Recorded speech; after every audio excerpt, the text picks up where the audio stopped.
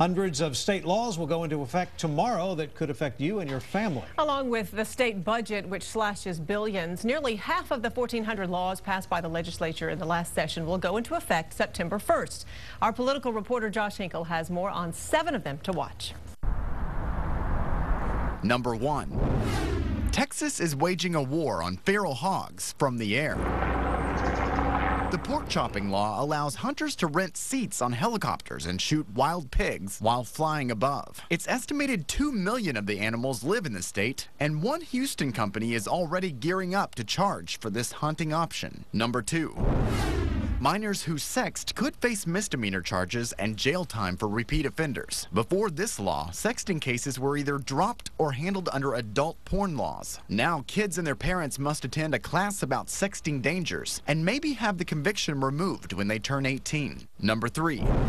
Schools now need written approval from parents to use corporal punishment on students. Texas is one of 19 states still allowing paddling in schools, though a handful of districts have banned it. Number four, the state can now move highway speed limits up to 75 miles per hour if studies say it's safe.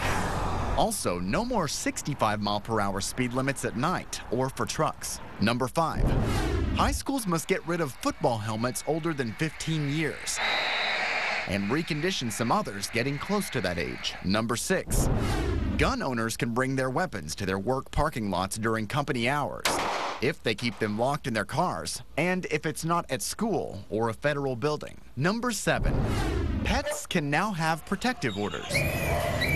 It all came about when domestic abuse victims started complaining their abusers were injuring or even killing their pets, which can now mean a Class A misdemeanor. Also keep an eye on two of Governor Rick Perry's emergency items. Part of the controversial voter ID law goes into effect tomorrow, but full implementation goes into effect on January 1st. It would require voters to present a photo ID before they cast a ballot at the polls. And this week, a federal judge struck down parts of the sonogram law, which was supposed to go into effect tomorrow. It aims to make doctors perform a sonogram before an abortion. The judge said it violates the free speech rights of both doctors and patients. In the studio, Josh Hinkle, KXAN News.